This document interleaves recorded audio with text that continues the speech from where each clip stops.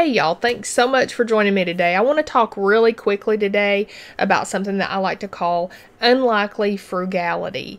It is a way that you spend a little money on something, sometimes maybe more than a little bit of money on something, but it ends up potentially saving you some serious money in the long run. Um, one of the things, and I had a blog years ago and I wrote about this. Uh, one of the things that I found that saved me a lot of money was an epilator. It's one of those little machines with the tweezers on it that circulate and epilate the hair. And um, I have always shaved my legs. I know probably a lot of us do, maybe not everybody, but razors are expensive. I have I've, got three daughters, and not all of them like the epilator, and um, it's expensive to buy razors, and there's discount ways of buying them, and I'm actually going to talk about that next week. I think about some uh, like a separate part to this, but um, I really I've I've used an epilator for probably 20 years off and on. Um, the first one I got was a battery powered kind. It was the kind that you charged and then you could use it. And I used it for probably two years or longer. And they do eventually wear out. Um, I got another one because the charge didn't hold so well on, on that particular kind. And I used it a lot. I used it a lot. Um, after that, I bought this kind. It's an it, the only ones I've ever used are the Emjois. I don't know uh, anything about any of the other kind. It's uh, E M J O I, I think. Um, I'll put it up here. And this one is called an Emagine, and this one is like for legs. It's uh, got a big um, surface here with lots of tweezers. I mean, let's be real. That's what they are. Lots of tweezers in there. This one's beat to pieces because I've used it for so long. This one runs about $75 on Amazon. Um, so I know that's not cheap. It's not cheap. But having used this, there's no telling how much money I have saved in razor blades. Um, or disposable razors, I mean. You have to use it when you first start it's it's like tweezing your eyebrows or tweezing any hair that you might, you know, tweeze. It is uncomfortable at first. And I got a few tricks about that that I'm going to talk to you about in just a minute. Um, most of the negative reviews that I've read about them on Amazon or on QVC, which is another place that I bought them. We'll talk about that in just a minute. Um, is because it hurts. And people want to buy like numbing cream and all that kind of stuff. And I've never done anything like that it might help. I don't know. Um, I I don't know. I don't want to put anything like that on my skin and then tweeze the hair out of it if I don't have to. Um, but I've just never done anything like that. After having used the epilator for years and years and years, it doesn't hurt anymore. It's like if you're used to tweezing between your eyebrows or something.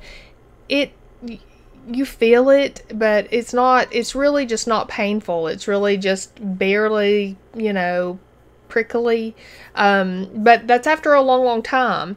And so I've got a couple tips and I'm going to point them out. But I also want to tell you, since this one is, um, you have to keep it plugged in. This one is not battery powered. I'm surprised at how annoying that is. It um you have to be beside an outlet to use it. So you know, you can't use it just anywhere. Now, most people would probably use it, you know, um, as part of their hygiene routine. I at this point, I mean, I can use it anywhere. So if I'm, you know, privately sitting out back or whatever, where it's it's a private area, I could use it out there, but I can't because it is it has to be plugged in. Um, but but I've had it for a long, long time, and so the battery doesn't get older in it. So it's kind of like a trade off with that, I think. Um, I've had it for much longer than I had the one that was battery powered. The the big one that I had that was battery powered. And I got this one on QVC a few years ago. is called an Emjoi EpiSlim. Um, I, it came in a pack of two, and I was getting one for one of my daughters who happens to like it. Now this is a smaller. It has 18 blades, I think it says, disc epilators. It has no blades. It has 18 disc epilators. So 18 little tweezer things in here. And for those of you who don't know, I'm going to turn it on. I'm going to let you hear it. Um, they're loud. And I don't know how much you can see. It almost looks like a vibration. But they're spinning and they're grabbing the hair and they pull the hair out that quick. This one, this small one, this is battery powered. And this one is great for little areas like um I mean let's just be honest. Right in here. Um occasionally since I have hit my 50s, I'll get like a stray hair underneath here and um I used to have to like, you know, I mean it was an issue trying to handle that. It's not an issue with this thing. You just you can do it. Um and there's nothing to it. Now, I've had this one for a, quite a while, um, but I don't use it often. Oh, as nearly as often. Maybe, I mean, I don't even know, once a month or whatever. And um, it since I'm doing it on my face, it's only pulling out these little like fine hairs. Um, so it, it it doesn't feel good. It doesn't, but it doesn't hurt. It's not painful to me. Um, some people, if you have extremely sensitive skin, it can maybe um, people say it pulls up like a rash. Also, if you have extremely sensitive skin on your legs, um, or or if you have extremely thick leg hair, it can pull up a rash, I've heard, like um, razor burn kind of bumpy rash. I've never had an issue with that.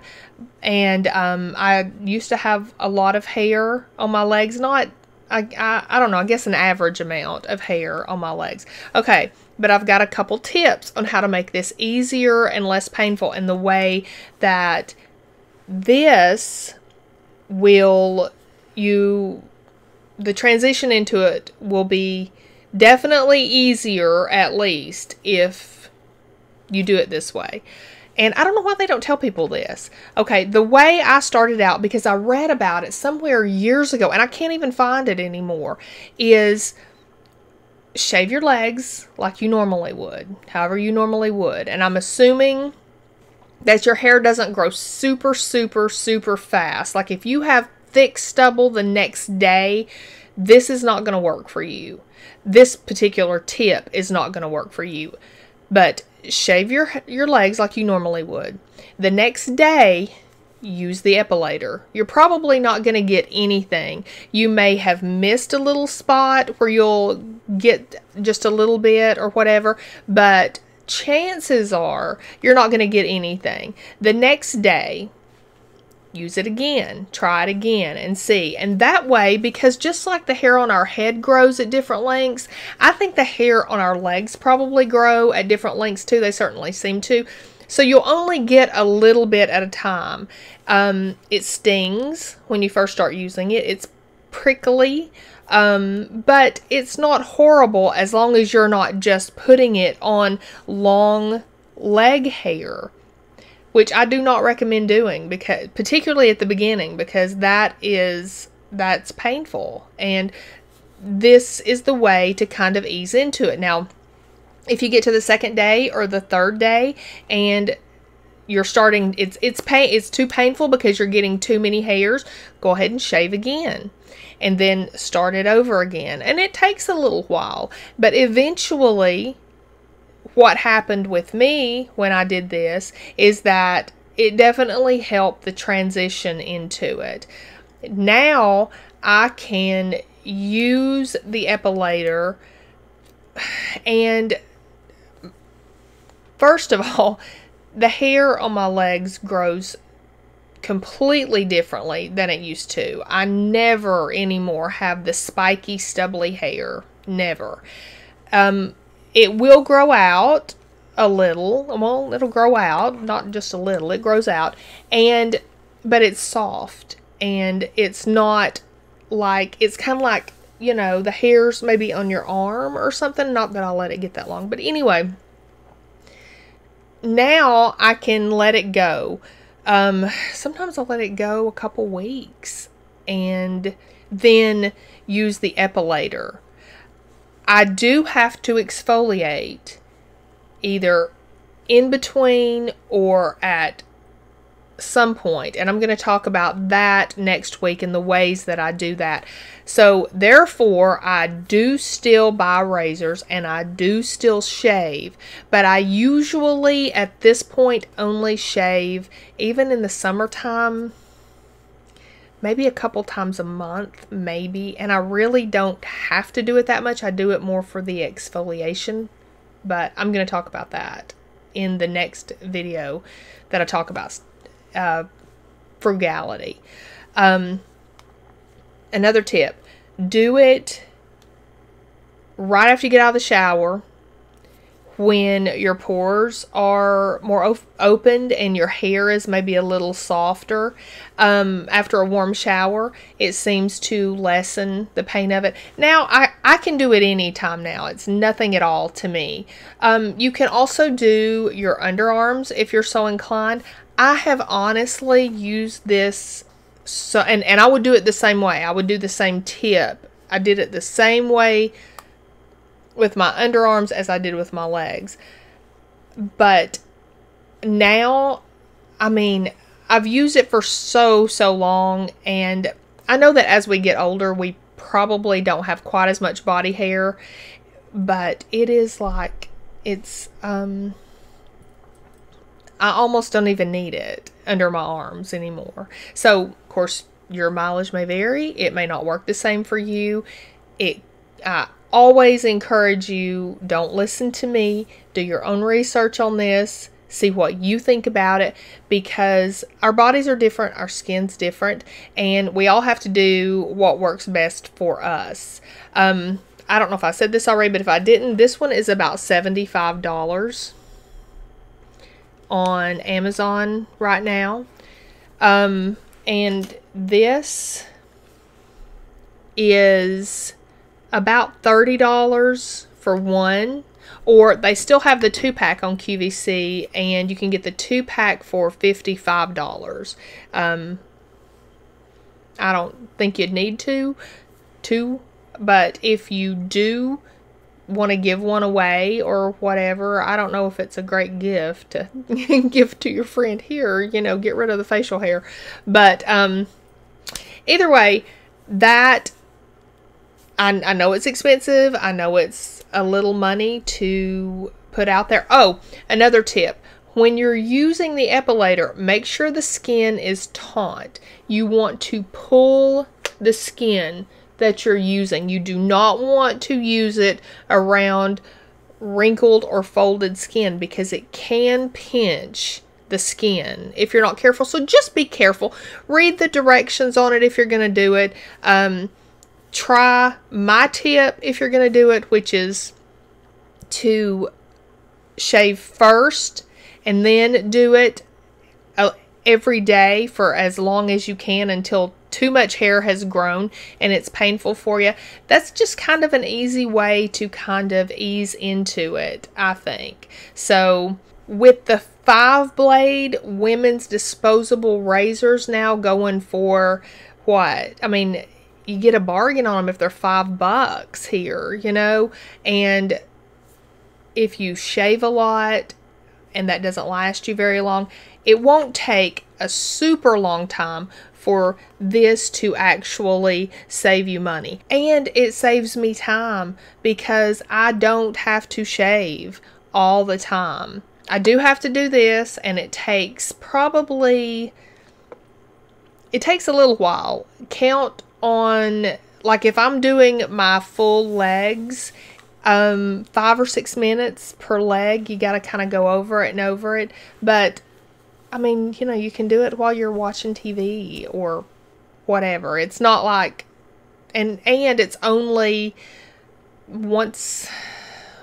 Well, for me now, it's probably once every couple of weeks, but that will vary depending on how your hair grows and everything else. But anyway, just a quick tip on what I do to help save me money on very expensive razors. And so that's what I do. Next time, I'm going to be talking about um, the need to exfoliate because I still have to exfoliate when I do this. Um, and I'll go into all that next time. And what I use to do that and why I still use razors and which razors I use and why and that will all be coming up next week. So if you have any interest in that and you're not subscribed, subscribe and ring the bell and then you'll get notified when I put that video up. And thanks again so much for joining me. And if you have any questions, leave them below. And if you've used an epilator, leave your comment below if you will, if you love it, if you hate it, what you love about it, what you hate about it, if it saved you any money. Let's share this with each other and um, kind of get the message out. Let's just see. Let's see what people what your opinion is. I would really love to hear it. It's been my companion for so many years that I just really have a positive experience about it at this point. So let me know what your experience is. And we'll see you guys next time.